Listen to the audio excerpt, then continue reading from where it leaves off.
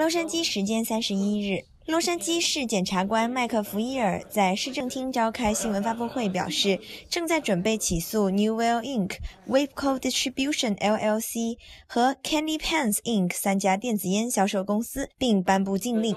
他表示，这三家公司在没有核实消费者年龄的情况下，在网上擅自销售没有联邦政府批准的烟草制品，并在社交媒体上发布诱导青少年消费烟草制品的广告。同时，麦克弗伊尔指出，这些举动也违反了市场公平原则。在2018年的最新调查中显示，近百分之二十的高中生在一个月内使用过电子烟，相较于2017年，使用电子烟的高中生提升了近百分之七十五。The nicotine exposure and there's nicotine in these cigarettes can have lasting consequences for brain development, and we know the brain continues to develop through age 24. E-cigarettes, as the general says, expose users to chemicals that are dangerous, not just for their brains and not just nicotine. E-cigarettes, as the general says, are associated with traditional use of cigarettes later on.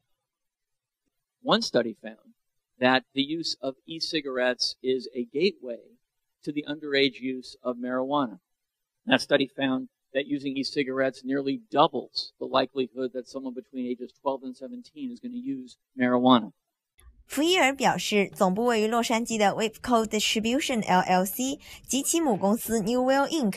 通过使用主流社交媒体平台广泛宣传旗下产品，而 Candy Pants 则是通过在流行音乐视频中进行电子烟展示以及明星代言等方式进行宣传。同时，在其官网上并没有显示出联邦政府规定的关于尼古丁成瘾的健康警告。洛杉矶市检察厅正在寻求禁令，禁止以上三家公司在没有确认消费者年龄的情况下出售烟草制品，禁止销售未经 FDA 批准的烟草产品，以及禁止推出针对年轻人的营销广告策略。助理检察官 Michael Bostrom、副检察官 Ben Dolphin 和 Connie Chan 正在处理此次诉讼。目前，三家公司均未作出回应。Stop marketing your products to kids. 魅力中国记者现场报道。